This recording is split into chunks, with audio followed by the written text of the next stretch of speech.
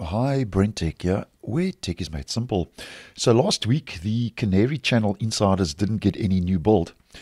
And Microsoft now is out the gates, so to speak, early this week and has already released a brand new build to the um, Canary Channel insiders, build 25370, which was made available on the 22nd, which was late yesterday in my region. So just a quick look at what is hot off the presses if you would be interested. Now, um, I must just say at the outset that there's not too much personally I do find very interesting that's rolled out uh, in Build 25370, but um, just a quick video because we do like to keep you updated and posted and in the loop um, as regards to new features. Now, um, the new feature that's rolling out for Build 25370 is now support for VTPM in Hyper-V on Windows on ARM64 builds. Now, um, just to mention this quickly, um, Microsoft says that after upgrading your host OS to the latest flighted build, build 25370 and higher, you will now be able to upgrade guest Windows on ARM VMs, that's virtual machines,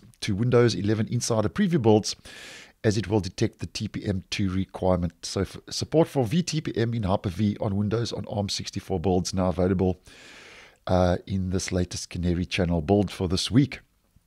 Now, just mentioning some changes and improvements, um, there are three that have rolled out for networking, where Microsoft has mentioned they've added support for bridging adapters via command line via NetSH. Now, um, in case you didn't know what NetSH is all about, um, basically, um, it stands for Network Shell and is a command line utility that allows you to configure and display the status of various network communications server roles and components after they are installed on computers running Windows Server. So, really, a Windows Server feature rolling out there. And then the next is regarding quick settings for Wi Fi, where Passpoint Wi Fi networks will now support enhanced connection performance and will display a URL in quick settings to provide information to users about the venue or event. And I actually think that's a nice move. And then moving on to the next, um, they've also added WPA3 support to the phone link instant hotspot feature for more secure connections to a phone's hotspot. Um, also, they've also made fixes to respect metered connections settings, um, reduce duplicate profiles, and show the phone's display name in the actual network list. So um, that means that your phone now will be displayed in the actual list of networks on your PC, which I think is another nice move. And then moving on um, to the final so called change and improvement.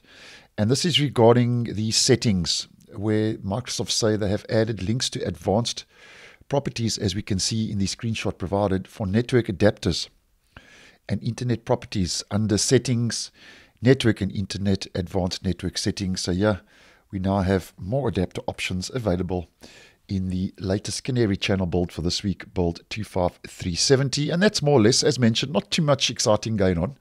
But nonetheless, just to keep you posted and in the loop, that's what's happening this week in the Canary channel with um, Windows 11 Insider Preview Build 25370. So thanks for watching, and I will see you in the next one.